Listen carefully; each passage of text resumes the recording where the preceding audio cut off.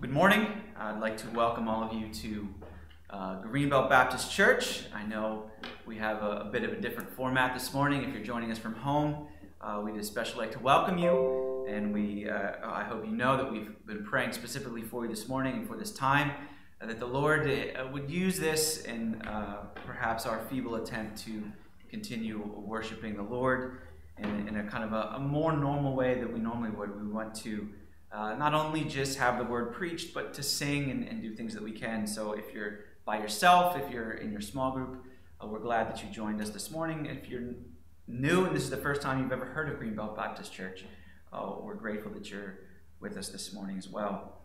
Uh, I do want to say a quick word. Uh, this is not our normal run of things. We don't normally post videos. We want people to be here in church uh, and when we can. Uh, the Bible does prescribe us to gather together. And so uh, it, we feel that it's important to do that. And, and this is just really brought about by the special circumstances that we're, we're living under right now. Um, but, but we anticipate and we look forward to and pray that when uh, this time is over, when we can gather together in a more normal fashion, uh, that this kind of format will disappear for us and, and we'll uh, be back to our normal gathering together, our fellowshipping with one another, the way that the Bible prescribes us to worship.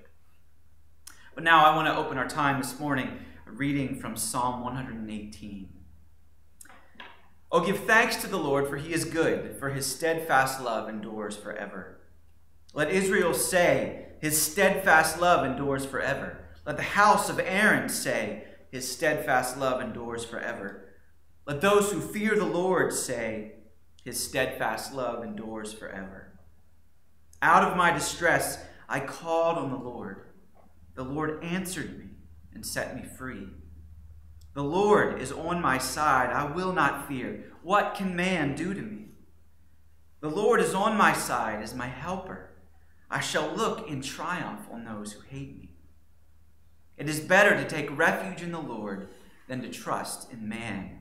It is better to take refuge in the Lord than to trust in princes. All nations surround me. In the name of the Lord, I cut them off. They surround me, surrounded me on every side. In the name of the Lord, I cut them off. They surrounded me like bees. They went out like a fire among thorns. In the name of the Lord, I cut them off. I was pushed hard so that I was falling, but the Lord helped me. The Lord is my strength and my song. He has become my salvation. Glad songs of salvation are in the tents of the righteous.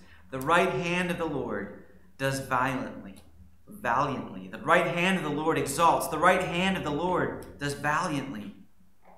I shall not die, but I shall live and recount the deeds of the Lord. Let's pray.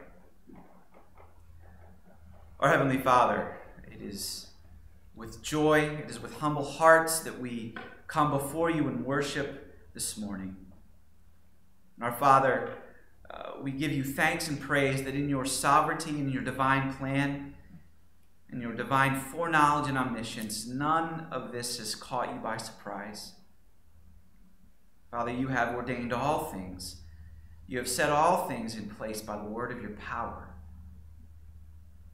And Father, we trust your goodness in this time. We trust in your love towards your people and your sustaining grace and mercy towards us. Father, we, we thank you this morning that we can still come to you and worship.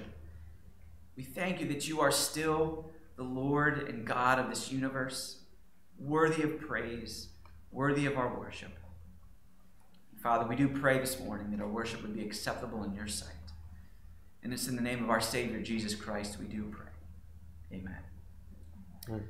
We're going to sing together now. If you have a hymnal, uh, one of our hymnals, you can uh, open that up. Uh, or if you uh, have the links open to the lyrics online, you can do that uh, even now. But, but let's sing together.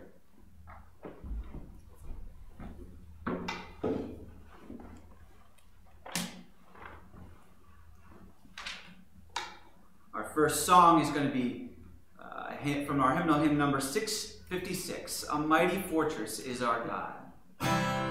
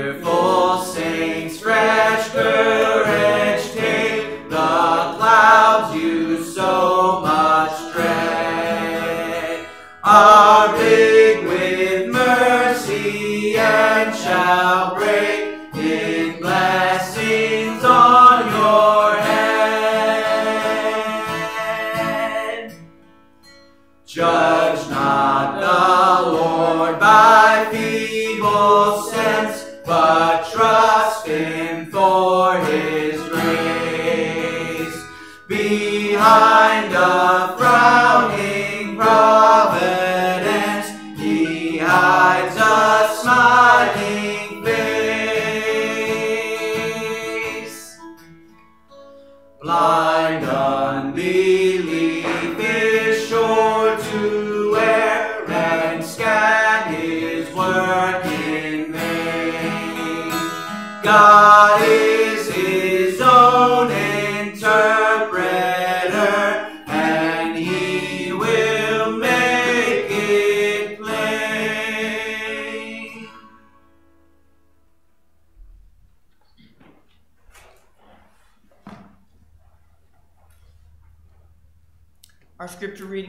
comes from the book of Romans, chapter 8, verses 18 through 39.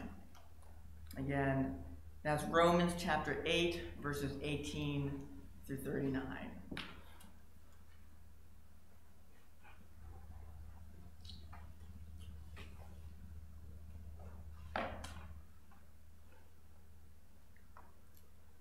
For I consider that the sufferings of this present time are not worth comparing with the glory that is to be revealed to us.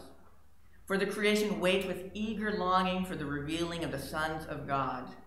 For the creation was subjected to futility, not willingly, but because of him who subjected it, in hope that the creation itself will be set free from its bondage to corruption and obtain the freedom of the glory of the children of God.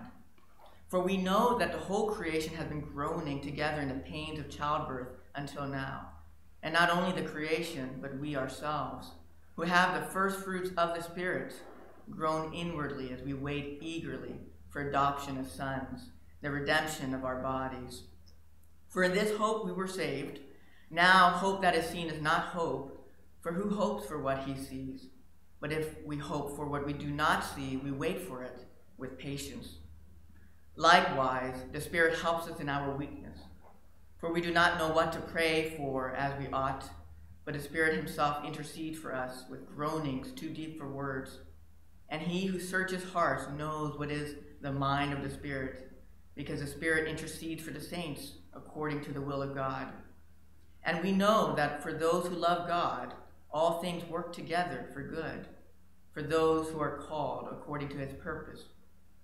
For those whom he foreknew, he also predestined to be conformed to the image of his Son, in order that he might be the firstborn among many brothers. And those whom he predestined, he also called.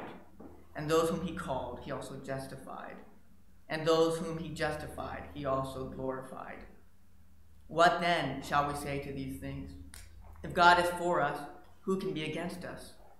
He who did not spare his own son, but gave him up for us all how will he not also with him graciously give us all things? Who shall bring any charge against God's elect? It is God who justifies. Who is to condemn? Christ Jesus is the one who died. More than that, who was raised, who is at the right hand of God, who indeed is interceding for us. Who shall separate us from the love of Christ? Shall tribulation or distress, or persecution, or famine, or nakedness, or danger or sword? As it is written, For your sake we are being killed all the day long. We are regarded as sheep to be slaughtered. No, in all these things we are more than conquerors through him who loved us. For I am sure that neither death, nor life, nor angels, nor rulers, nor things present, nor things to come, nor powers, nor height, nor depth, nor anything else in all creation will be able to separate us from the love of God in Christ Jesus, our Lord. Let us pray together. Father in heaven, you are free from any and all types of corruption. In you there is only goodness, righteousness, and love. You are pure and holy in a way we don't quite understand, completely unlike us or your creation. You are distinct, separate, and glorious and so we worship you and pray with hearts lifted up and with hearts humbled by your forgiveness and grace. And we proclaim that your name is great. Your name is wonderful. You are our joy and our pleasure, our peace and our shelter. Your name is a mighty fortress, and no one who calls on your name will ever be shamed. And so, once again, we pray to you and declare that you are perfect and free from any and all types of corruption. But not so the world. We know and see that the world is so full of darkness and sin and corruption of all kinds. God, we face tribulation and troubles, distress and tragedies, persecution and sharp injustices, famine and hunger and disease, nakedness and need danger and the sword, and death with as many faces. But Father, you stand above all these things. You stand over them. You have conquered each and every one. You have defeated sin and death. You have overcome all of the corruptions of this world, and you cause us to stand with confidence too, by purifying and redeeming us from the corruption in our own hearts, our own sin.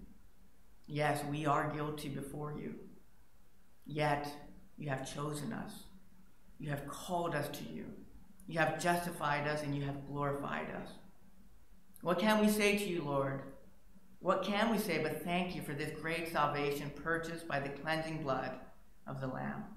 You have cleansed us, and yet we still see corruption in the world. And we trust you when you say that creation has been subjected to futility for a short time until you make all things new. You have made us new, and now we eagerly wait for your return and for that day when all things will be made new. No more corruption, no more death, no more birth pains. We see that glorious end, Lord. We see it in our mind's eye, and we long for and hope for it. Oh, what a glorious day that will be when we stand before you in the new heavens and a new earth and the new Jerusalem. But we know that the path to that new Jerusalem is through the thorny ways. And even those thorny ways are meant for our good and our strengthening, inwardly and by your Spirit. We pray then for the church global as we all face a common threat today, the coronavirus. Above all, let your people around the world stay true to the faith and seek comfort in your word. Let your people be quick to encourage and care for one another. Let this whole situation cause us, your people, to stand out clearly from the rest of the world, that in our saltiness you might bring many more to salvation. Use your church in any way you will to bring you glory. Use us for all that you desire, the saving of those who are lost. And secondly, regarding coronavirus, we pray for your people and your churches around the world who have been hit the hardest, that you would maintain them in unity by your strength, that you would not allow them to fall into despair, and that you would open the doors for them to receive the medical attention they need. Enable your people around the world who are already under forced lock- lockdown to continue to worship you in whatever capacity available to them we pray that you would maintain the bonds of fellowship in whatever ways possible, but especially through prayer. Lord, we are mindful that we too here are a church affected by these global events, and we are worshiping you perhaps for the very first time in GBC's history, remotely and virtually, disconnected and yet connected. Lord, we thank you for the blessing of technology you've given us to make this possible. We pray that our brothers and sisters are able to join us for each Sunday, that we must do this. And though we're grateful for the internet, help us to stay most connected with each other through prayerful intercession for one another during this unique season. This season that reminds us of the corruption of the world and which causes us to cling all the harder to you, the unchangeable I am. Protect us in these times and ground us firmly in your word. We pray for the most vulnerable people in our congregation, the sick and the elderly, those healthcare professionals among us, and the essential employees, that you would protect them from exposure to the coronavirus, and that you would let them feel your protective hand over them. Father, we also pray that you would continue to meet our physical and financial needs, knowing that you promised to do so already as we seek first your kingdom and your righteousness. Lord, all these things that we've been praying, we pray again for our friends at Aletheia Church and Bowie Presbyterian Church, that their members might be encouraged and praying for one another, that you would maintain their unity, and that you would protect the most vulnerable. Father, we trust you and we rely on you, and we give you the praise, the glory, and honor that is due your name and your name alone. And we pray these things in Christ's holy name. Amen. Amen. Sing Amazing Grace, how sweet the sound. Amazing grace, how sweet the sound.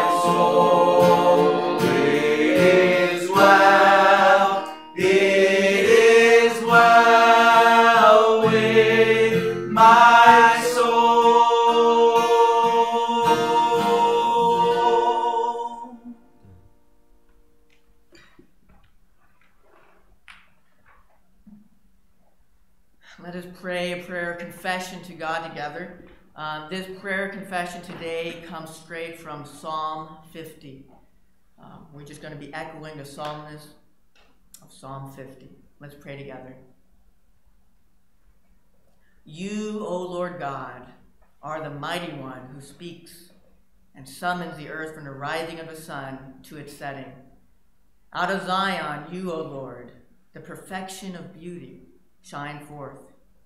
You do not keep silent, and before you is a mighty fire Around you a mighty tempest. You call to the heavens above and to the earth below, that you may judge your people. You gather us to yourself, and the heavens declare your righteousness. You, O God, are our judge. You will speak, O God, and you will testify against us. You are God, our God, and you rebuke us. You don't accept the works of our hands to accomplish atonement for our sins as if you need us for anything at all. Lord, before we try to serve you, help us to first have a heart of gratitude and thanksgiving. Lord, we are often ungrateful, and we don't always turn to you in times of trouble. We don't always give you glory for the way you have delivered us. We as lawbreakers have no right to recite your laws. We, we listen to your word, and yet we, we turn away from it. We turn, we throw your word behind us. We speak wrong against our brothers and our sisters. We slander them. Lord, we lie and we, we keep company with adulterers. We approve of, of thieves and liars. Lord, we often mistake your silence and lack of swift judgment for affirmation and acceptance. But you hate all sin and will strongly rebuke us, laying the charges against us. Help us, God, to order our way rightly, to offer thanksgiving from sincere hearts, and to not forget you lest we face your wrath and there be none to deliver. Show us then your salvation, O God. Amen. Let's sing the hymn in Christ alone, my hope is found. Thank you.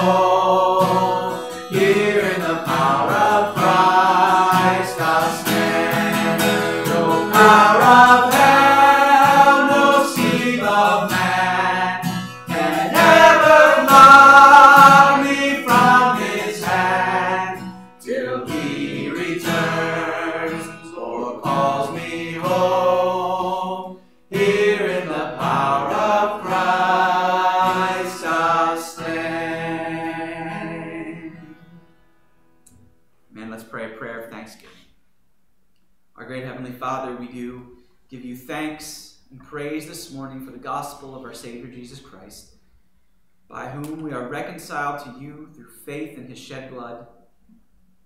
Father, we thank you for the new life that is found in him.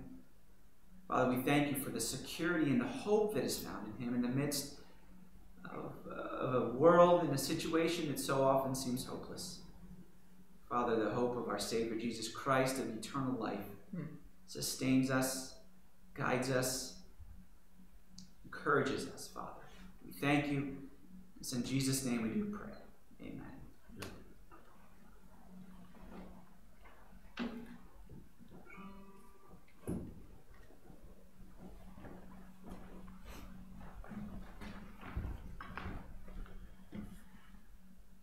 Good morning, and if you have your Bible with you, you can go ahead and open up to Genesis chapter 49. Genesis 49, as I'll be reading all of Genesis 49, verses 1 through 33.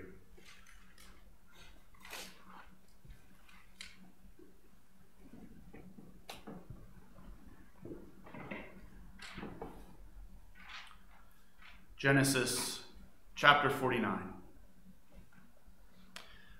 Then Jacob called his sons and said, Gather yourselves together, that I may tell you what shall happen to you in the days to come. Assemble and listen, O sons of Jacob. Listen to Israel, your father. Reuben, you are my firstborn, my might, and the first fruits of my strength, preeminent in dignity and preeminent in power. Unstable as water, you shall not have preeminence, because you went up to your father's bed. Then you defiled it. He went up to my couch. Simeon and Levi are brothers. Weapons of violence are their swords.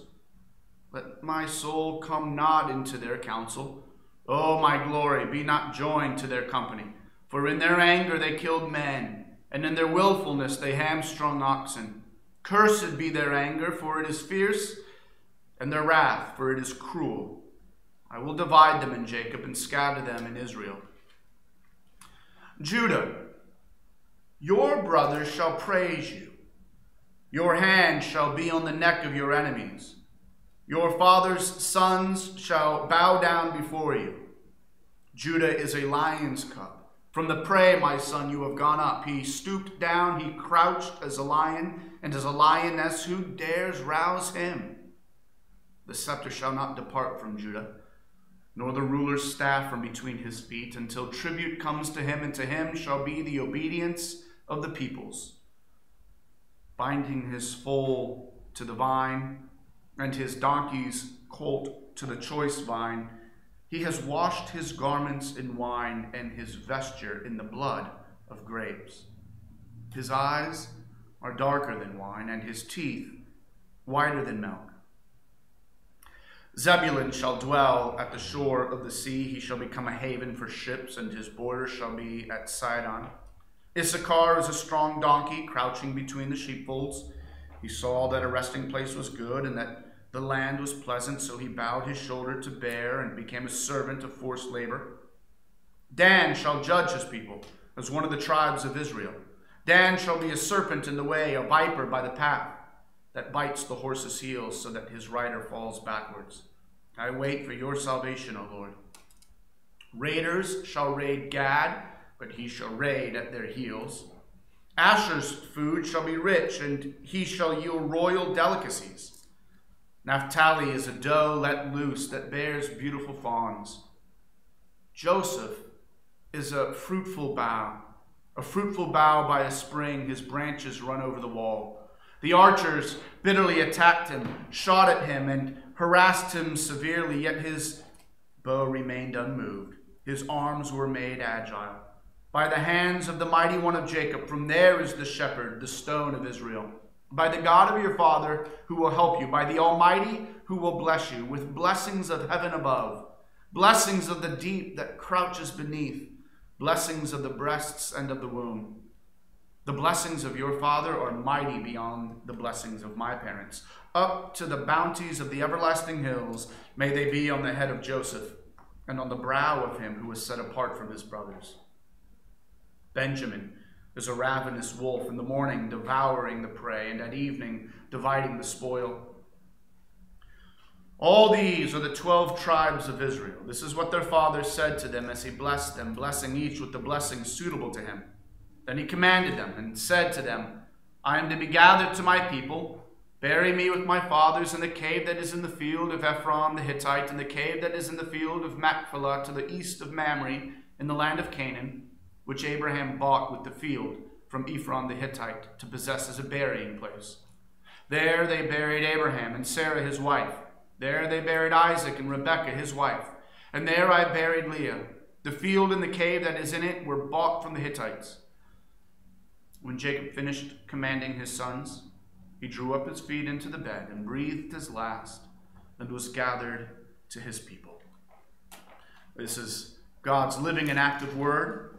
And uh, let's ask God now to not only bless the reading of it, but to help us understand and apply it to our hearts. Let's pray.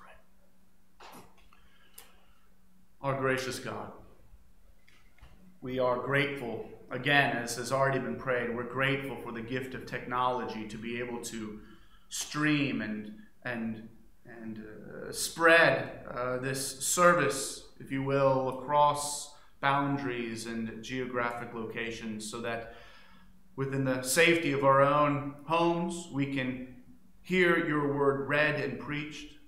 But Father, we're we're more grateful for the gift of your word, Father, that you have You've allowed us to have your word, which is without error, which is living and inspired, which gives life and illuminates. And Father, we pray that you would use your word now as we hear it preached and unpacked, Father, that you would use it to pierce into the depths of our hearts. Sharper it is than any two edged sword. And we pray, Father, that you would use it to convict us of sin but Lord, also encourage us in faithfulness. Strengthen us, nourish us, we pray, by your word, and allow us herein to see the glory and beauty of our Savior, your Son, Jesus Christ. It's in his name we pray. Amen. If you're joining us for the first time, uh, welcome to what is kind of Greenbelt Baptist Church. Uh, just a bit of a background on who we are and, and how we understand preaching. As a church, the, the central aspect of our service is on the Word of God uh, preached and heard.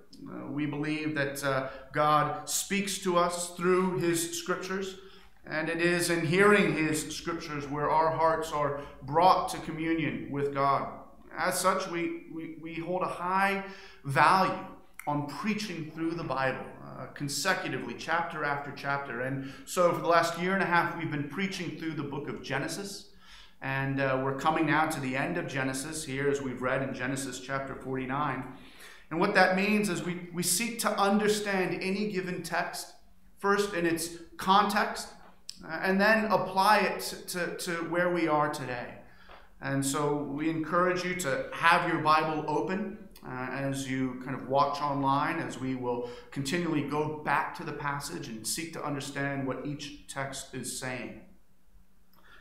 The account that is before us this morning, Genesis 49, is an account of Jacob blessing his 12 sons at the end of his life. This chapter gives us really a wonderfully intimate glimpse into the end of Jacob's life. Here is his, his near death bed moment, his last words and thoughts as he prepares to pass from this world into the next. Certainly, the, the world has, has more and more kind of been forced to reckon more honestly with the reality of death. We're, we're all kind of thinking about it more these days. Perhaps you've found yourself late at night, lying in bed, pondering more acutely your own death, whether or not you are in fact ready to die. Well, here is, here is a dying godly man in Genesis 49 who, with these last words of his, shows us where his heart and his mind are ultimately focused. What we need to see, of course, is that these last words of blessing uh, are the blessings of Jacob, the man who was the recipient of God's covenant promises. He is the patriarch through whom God would call to himself a distinct nation, a people group, and who would, as a nation, be a broader blessing to the world. So, these blessings God is giving to Jacob's sons is really the covenant blessings of God specifically applied to each son, all of whom together make up the nation of Israel. So look there in verse 28. We read there in verse 28, and notice the triple repetition of blessing there. Quote, All these are the 12 tribes of Israel. This is what their father said to them as he blessed them, blessing each with the blessing suitable to him. These blessings, although they're given individually here, are really in the context of their corporate identity as, as a people group, as the nation of Israel. Or to put it another way, what Jacob has in mind here is not so much his sons individually, but what God had promised concerning the land and the people who would come from Jacob to dwell in that land. His heart, Jacob's heart, is looking far down into the future, and he's He's captivated by what he sees. Uh, look at what he says in verse 1. Jacob called his sons and said, Gather yourselves together, that I may tell you what shall happen to you in the days to come. Do you see? In the face of death, at the end of life, what is Jacob's heart and mind consumed with? It's with the promises God made concerning the future the future of the people of Israel dwelling later in the land of Canaan. So sure is Jacob that these promises will come to pass, that he makes his sons commit to doing what? Look there at verse 29. Verse 29 Jacob commanded them and said to them, I am to be gathered to my people. Bury me with my fathers in the cave that is in the field of Ephron, in that cave that is the field of Machpelah. Abraham bought that field from Ephron to possess as a burying place. He says, Bury me there with oh, Abraham and, and with Isaac, my father, and, and with, with my wife Leah. We need to begin where Jacob begins. And, and yes, that's with his mind meditating on and, and, and, and grounded in the future promises of what God has established. But we also need to see where he begins with blessing his sons. And that's with the older brothers Reuben, Simeon, and Levi. Those are the first three. And what becomes clear is that, well, rather than blessings, they actually receive severe denunciations. These are anti blessings, they're, they're curses. Why? Well, because they disqualified themselves. Reuben, though he is the firstborn, look what Jacob says uh, in verse 3 Reuben, you are my firstborn, my might, the first fruits of my strength, preeminent in dignity and preeminent in power. You can almost see Reuben looking around at his other brothers with his chest out and a, and a big, proud smile on his face. But all of that amounts to nothing because of what we see in verse 4. You are as unstable as water. You shall not have preeminence. Why? Because you went up to your father's bed and you defiled it. He went up to my couch. If you remember, Reuben, in a selfish grab at power, slept with Bilhah, one of his father's mistresses, all in order to shift the center of power away from Bilhah and her children, and more toward his own mother and her children, namely himself. But it all backfired. Jacob, now instead of blessing Reuben, he gives him a curse. And the same holds for Simeon and for Levi, these two older brothers who have shown nothing but a proclivity towards violence and revenge. Remember, they massacred an, an entire village of people. Well, they also disqualified themselves from receiving divine blessing. Again, all because of their sin, their, their disqualification. All of this is, of course, as Kent Hughes puts it, all of this is but the residuals of sin catching up. In other words, as the Apostle Paul instructs us in Galatians 6, we reap what we sow. There are consequences to our sins. And here's the wild thing we need to see. Often enough, there are long term and generational repercussions to our choices, be they sinful or not. What's startling about Jacob's words here to Reuben and Simeon and Levi is that they're a prophetic description of what the tribes of Reuben and Simeon and Levi will be generations down the road. Do you see? There's something portrayed here which, generally speaking, bears out in the rest of scriptures as well, which is this how you live your life now the decisions you make, the words you speak, the God or the gods, lower g, you choose to follow. All of that will be either a blessing to your descendants or a curse. We often say things like, the apple doesn't fall far from the tree, and for the most part, that's true to reality. We're so often shaped and informed, either consciously or unconsciously, by the character and lives of our parents, or through those who were most influential on us growing up. Consider the original readers of this text in Genesis 49.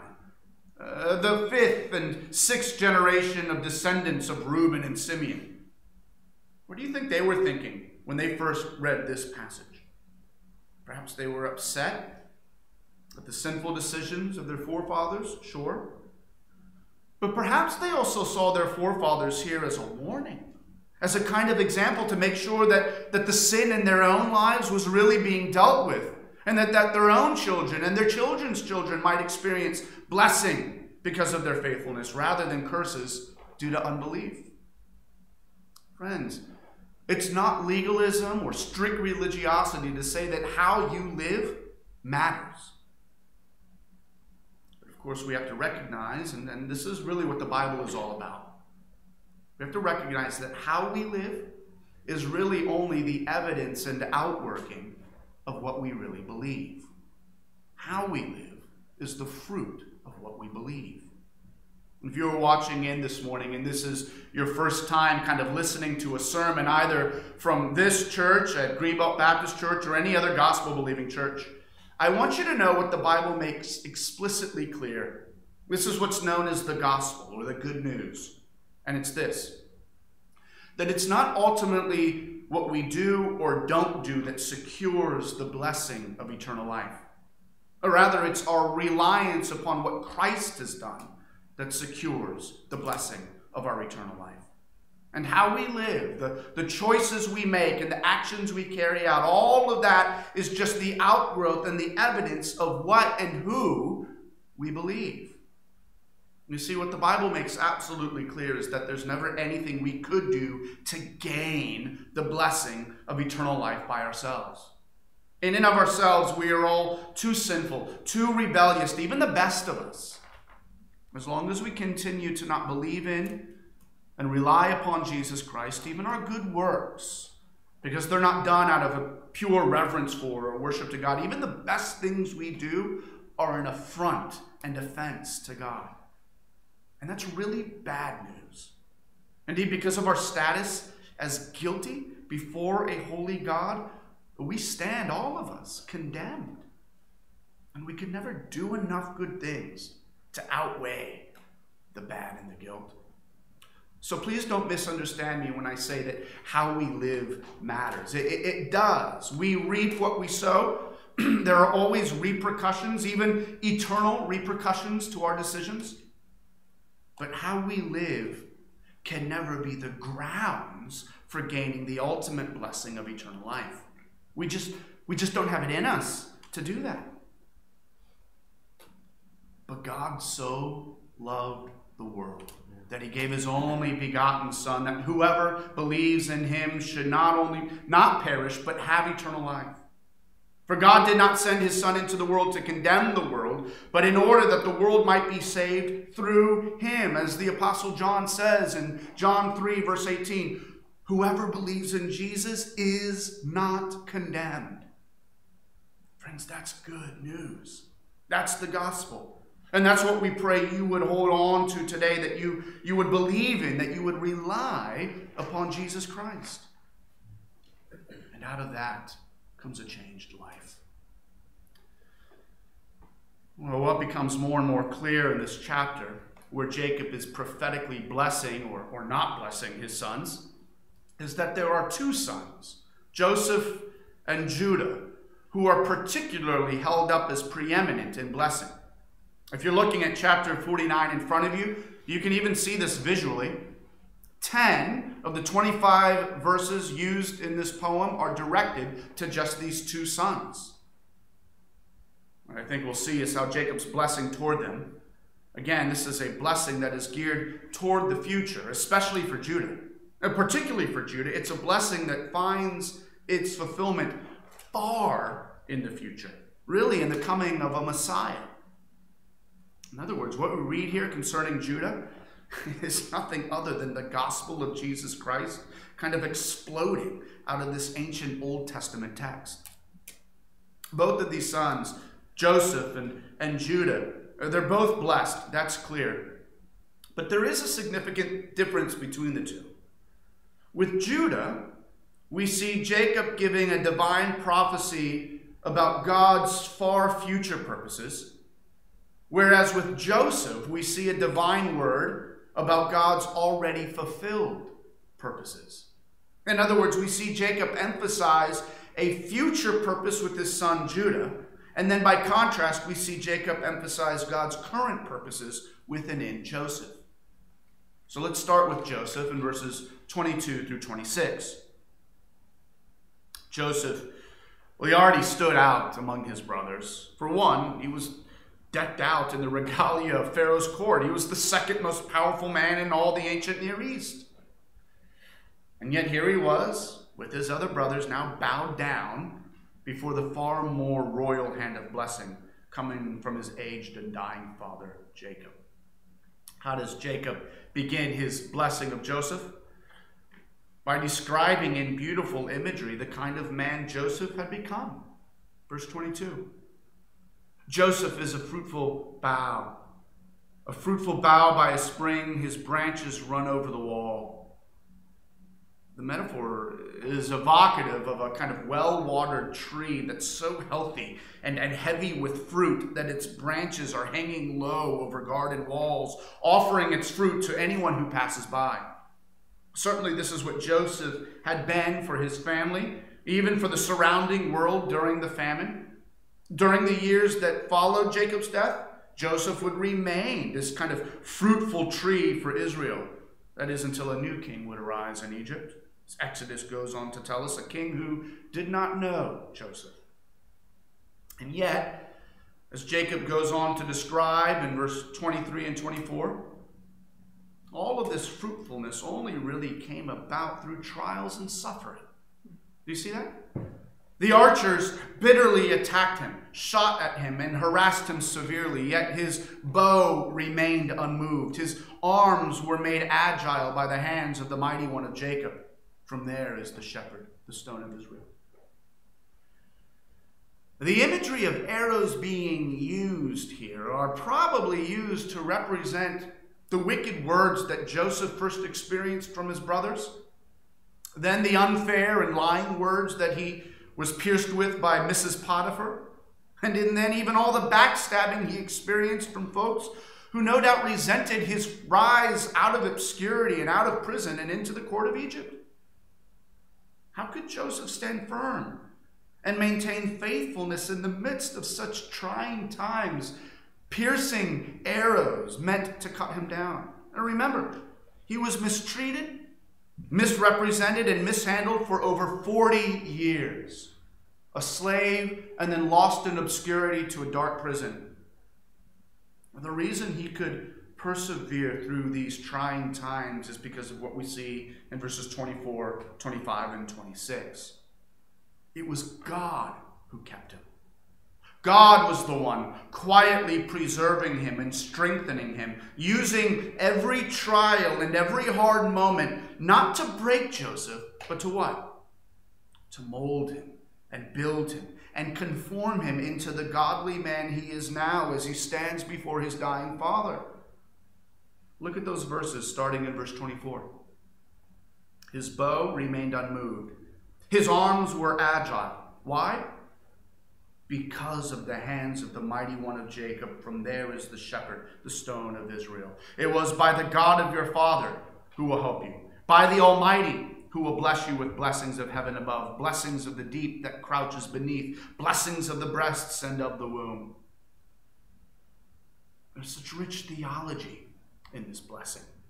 Jacob has a theology of God which, which is deep and majestic, describing a God who is mighty and yet one who's a tender shepherd, a God who cares for his people like a shepherd cares for his sheep.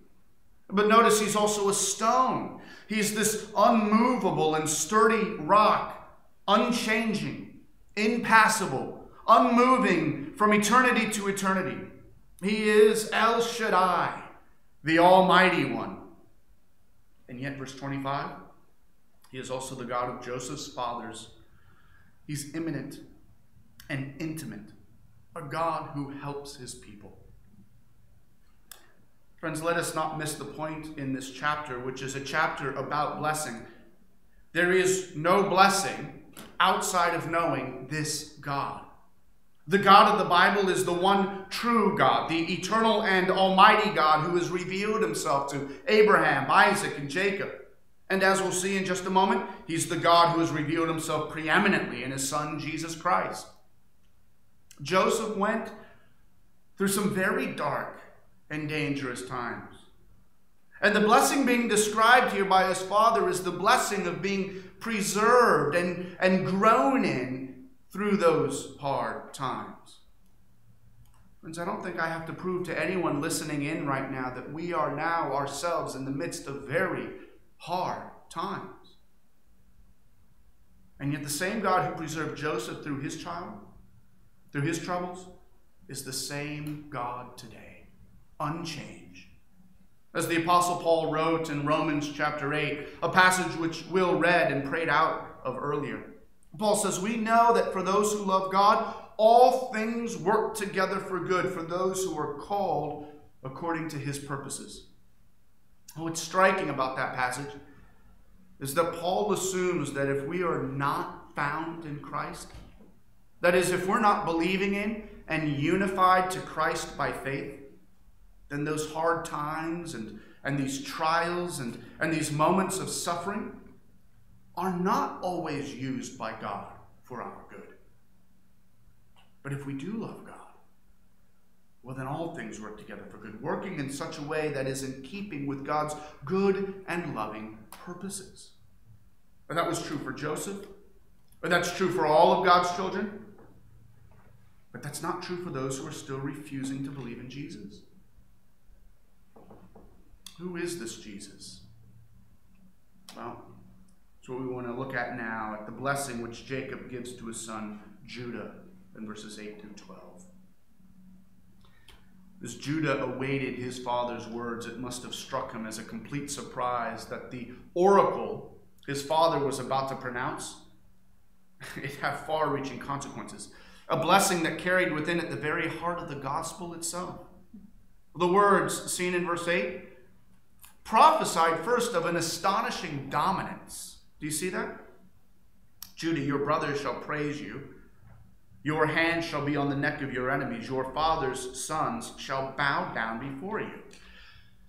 Now, if you've been following along in Genesis, and especially in the last chapters, which have focused in on, on the life of Joseph, Judah's younger brother, then these words can't help but surprise you.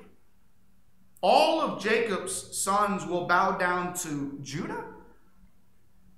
If Genesis ended in that chapter before, back in chapter 48. And, and all you were told was that the next chapter, chapter 49, would be about Jacob blessing his sons. And then you were tasked to write how you think it should go. What, what would the blessings look like?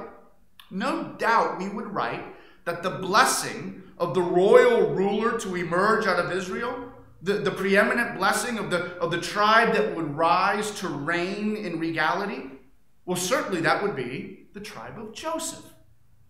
It's been Joseph who thus far has shown himself faithful and righteous. It's Joseph who's shown us the wisdom of how to lead a nation in the midst of famine and plague. It's been Joseph who alone has relied in faith upon God even through the darkest moments. And yet, the blessing in verse 8 is that it's the descendants of Judah who will emerge as the kings of Israel. It will be from Judah where the great kings of David and the great king of Solomon emerge. Indeed, it will be through Judah through whom the King of Kings will come and reign. How does that strike you? Especially knowing that Judah has not shown himself in Genesis to be really that upright or that faithful as a brother. Remember, Judah, along with the rest of his brothers, Judah sold Joseph into slavery. Judah, along with the rest of his brothers, lied to their father and said Joseph had been killed by an animal. And it was Judah who failed to care for his daughter in law Tamar as a caring and responsible patriarch, even being tricked to sleeping with her. So, how does it strike you when you read that it's Judah who receives here the preeminent blessing? Perhaps you're angered, or you think that that's incredibly unfair. If you do, I want to suggest to you that that's probably the point of what's going on in this passage. In other words, what we're seeing here is nothing other than what we've seen throughout Genesis, and that's the surprising nature of God's sovereign grace. It's not who you are or what you do that makes someone to be a recipient of God's grace. If it was, then grace wouldn't be grace. God's grace is his undeserved favor. God's grace is surprising because it bestows blessing upon those who don't deserve it. You, can't get God's grace through being religious. You can't earn God's grace by trying harder to be a good person. What we see here with Judah is that God uses and blesses and saves people not based on some religious system of earning, no, it's entirely and solely grounded in God's extravagant and unmerited love. It's God's love which accounts for why sinners like you and me don't fall prey to the unchanging justice and holiness of God. If blessing came through what we did or who we are, if salvation was the payment for how we lived our lives, friends, we'd be utterly lost. Every one of us, the only payment we deserve is that of God's just wrath. And yet, love intervenes Love intercedes and makes a way for us so that God can still be just and punish our sin, and yet in love also bestow upon us the grace of forgiveness and blessing. But how? How is God both just and righteous in punishing our sin, and yet gracious in forgiving our sin? Look at the rest of Jacob's prophetic blessing given to Judah in verses 9 through 12. Judah is a lion's cub. From the prey, my son, you have gone up. He stooped down. He crouched as a lion and as a lioness. Who dares rouse him? The scepter shall not depart from Judah, nor the ruler's staff from between his feet, until tribute comes to him, and to him shall be the obedience of the peoples. Binding his foal to the vine, and his donkey's colt to the choice vine, he has washed his garments in wine and his vesture in the blood of grapes. His eyes are darker than wine, or perhaps we could read that as they sparkle like wine, and his teeth whiter than milk. You notice how there's all this animal imagery which Jacob has been using for his children? He calls Issachar a donkey. He calls his son Dan uh, to be like a serpent. Naphtali is described as a doe, Benjamin as a ravenous wolf. But Judah, Judah is known as a lion. A lion, that, that singularly mighty and regal beast, the king of the animal kingdom. And you can see that in how the prophetic blessing continues. The scepter, that, that ruling scepter, shall, shall never depart from him, nor the ruler's staff. All the peoples of the world will bow down to him. The imagery of this prophecy is moving fast away from Judah himself and looking far down into Judah's distant future to the coming of a Messiah, a descendant of Judah who will reign not only over the tribes of Israel, but who will be a king over the whole world.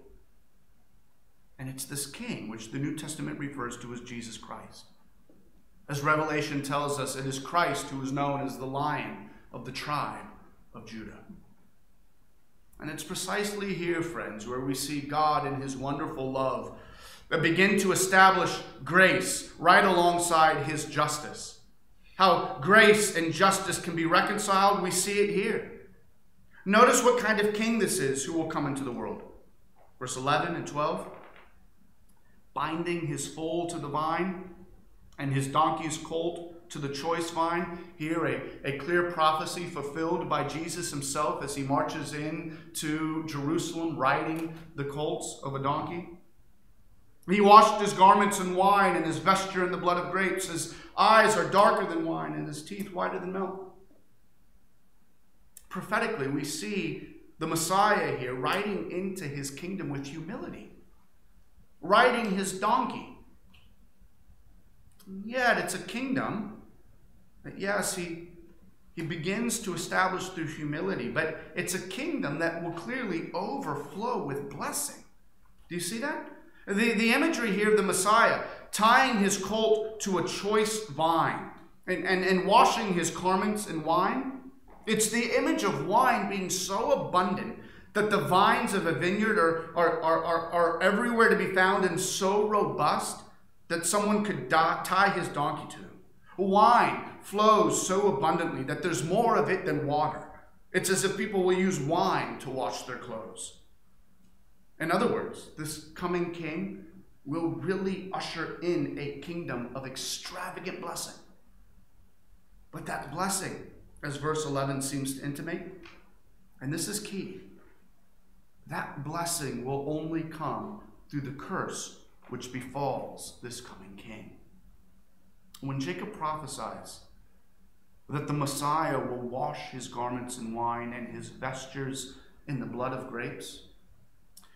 He's atten- intentionally tying the glory of that final blessing first with the agony of the cross.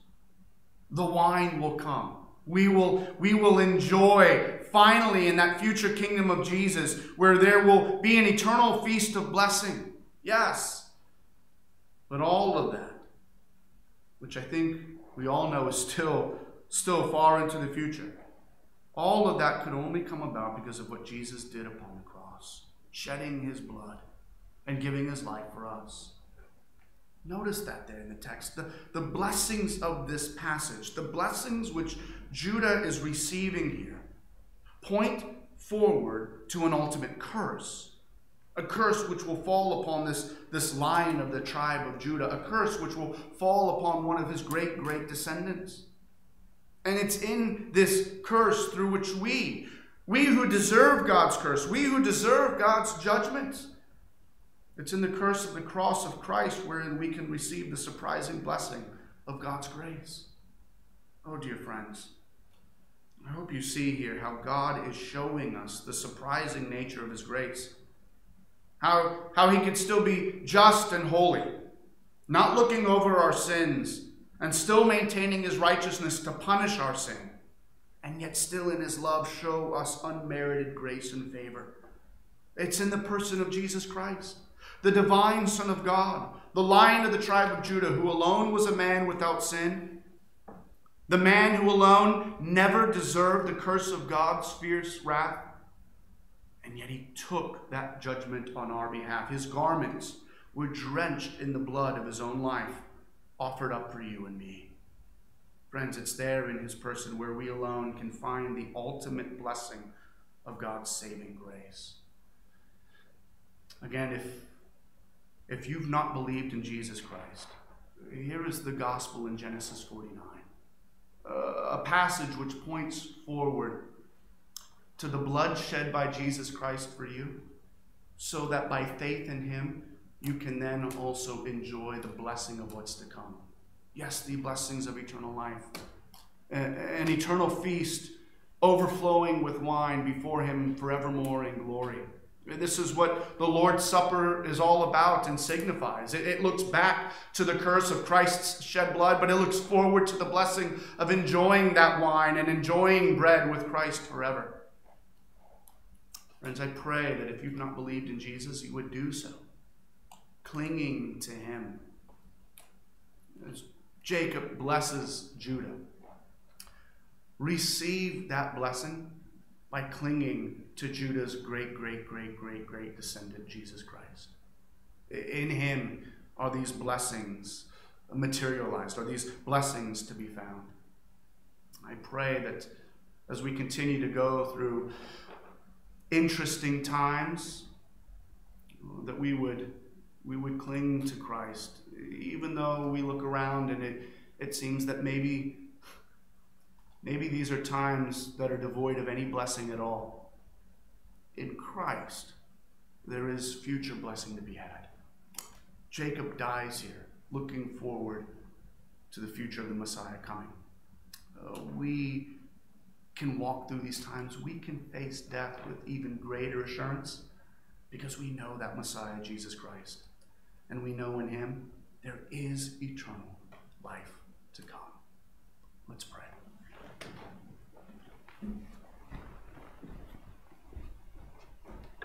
Let's pray together. Our great Heavenly Father, we do give you thanks and praise for the gospel of our Savior Jesus Christ.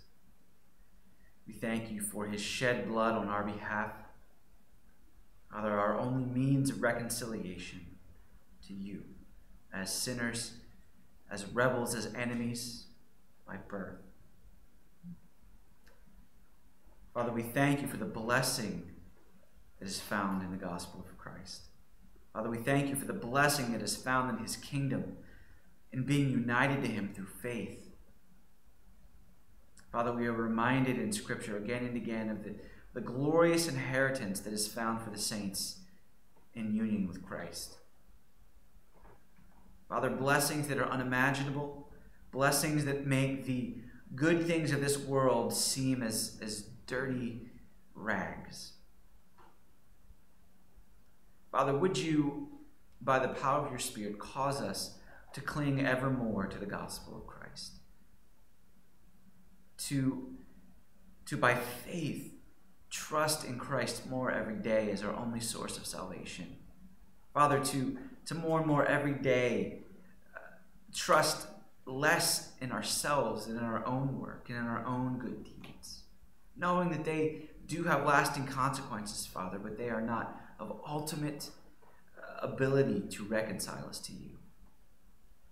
Father, would you build our faith and trust in you and in, our, and in your Son, Jesus Christ?